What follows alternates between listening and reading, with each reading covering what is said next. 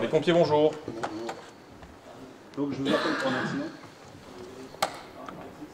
À 36. Vers euh, quelle commune à peu près? Un jour ordinaire à la brigade des sapeurs-pompiers de Colmar. C'est dans cette salle que sont traités l'ensemble des appels au 18.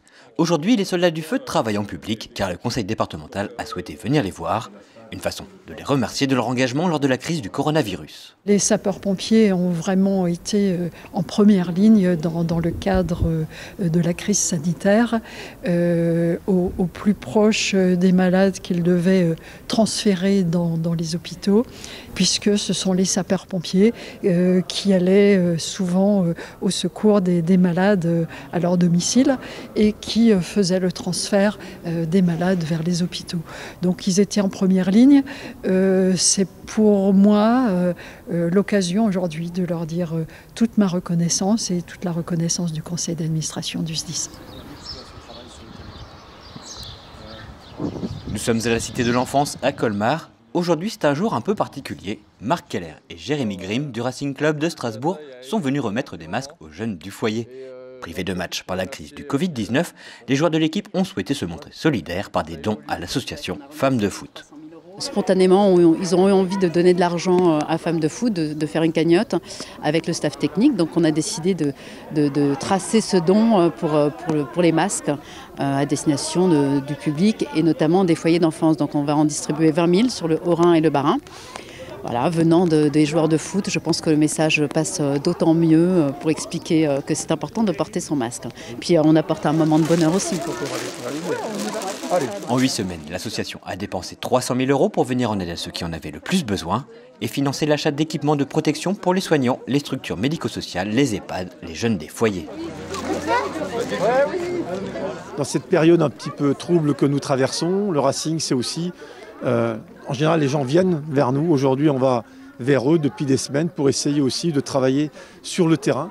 C'est un travail de fond qui a, été, qui a été fait via Femmes de Foot et je suis très heureux et très fier de voir le travail réalisé. C'est une période un peu difficile pour tout le monde. Euh, euh, c'est vrai qu'en tant que joueur et tout le groupe euh, et le club, on, essaye de, de, de, donner ce qu'on peut donner. Voilà, on, essaie de transmettre les valeurs qu'on a actuelles. Donc voilà, c'est un énorme plaisir de pouvoir aider tout le monde. On essaie de faire, de faire du mieux qu'on peut et, voilà, de donner un peu de, sourire aux enfants. Voilà, ça, nous donne un peu plus de, peps pour la suite.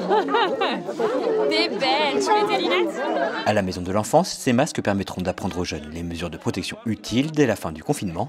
Mais à la veille du déconfinement, les gestes barrières n'avaient déjà plus de secret pour eux. On a eu beaucoup d'inquiétudes tout au début par rapport aux gestes barrières qu'on a appris aux enfants. On leur a fait des cours, des cours avec les éducateurs, des cours avec euh, l'infirmière. Et en fait, c'est à force de le faire, ça rentre totalement dans la vie quotidienne. Donc on pense que l'apprentissage du masque va prendre sûrement quelques jours, voire même quelques semaines. Mais en fait, avec, euh, avec le temps, moi je pense que les enfants, c'est eux qui ont le plus de capacité à s'adapter. Donc je ne suis pas du tout inquiète euh, par rapport aux enfants d'établissement. Pour les jeunes de l'aide sociale à l'enfance, le confinement s'est fait dans les foyers. Une situation difficile pour les enfants comme pour les équipes.